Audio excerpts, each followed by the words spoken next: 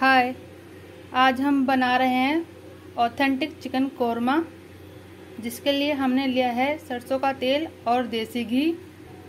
सबसे पहले हमने उस तेल में प्याज तल के रख ली है। फिर गैस ऑफ़ करके हमने तेल में चिकन डाला है। खड़े मसाले डाले हैं। जायफल, बड़ी इलायची, छोटी इलायची, दालचीनी दालचीनी तेज़पत्ता, काली मिर्च, लौंग और जीरा।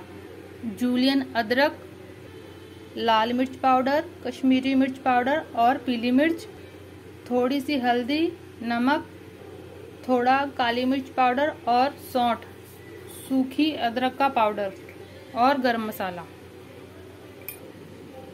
तली हुई प्याज और दही।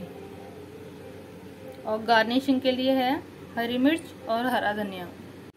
हमने मसाले और चिकन को अच्छे से मिला लिया है। अब हम गैस ऑन करेंगे और दो मिनट भूनेंगे अब चिकन को। हमारा चिकन भुन गया है। अब इसे लो फ्लेम पर रखेंगे दस मिनट के लिए ढककर।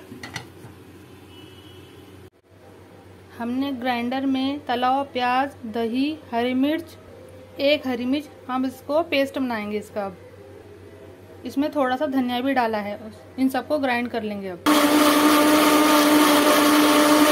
डालेंगे इसमें प्याज, दही और हरी मिर्च का पेस्ट।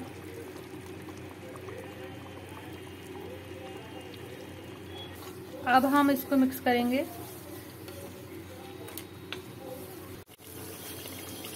अब हम, ये चिकन हमारा पक गया है, गल गया है अच्छे से। अब हम इस पर डालेंगे हरी मिर्च और हरा धनिया। बहुत ही अच्छा बना है ये। आप इस रेसिपी को घर पर ट्राई करके देखें। आपको ज़रूर पसंद आएगी। और अगर मेरी वीडियो अच्छी लगी हो तो लाइक करें, शेयर करें, कमेंट करें और मेरे चैनल को सब्सक्राइब करें। बाय।